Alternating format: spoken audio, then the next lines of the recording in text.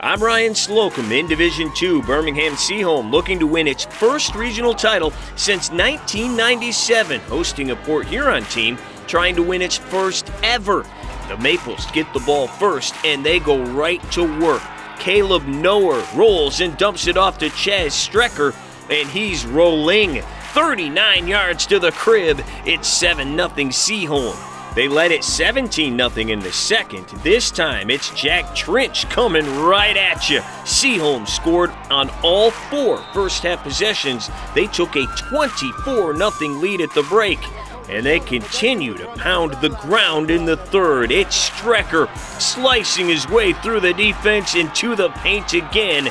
37 yards this time. The Big Reds finally get the offense moving in the third. Luke Vanderfeist takes this one down to the one.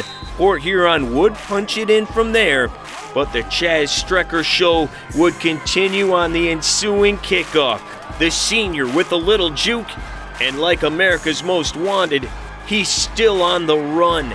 91 yards to put it away. Birmingham Seaholm wins three playoff games in a season for the first time in school history and takes the regional crown 44 28. The Maples will face Detroit King in the semifinals.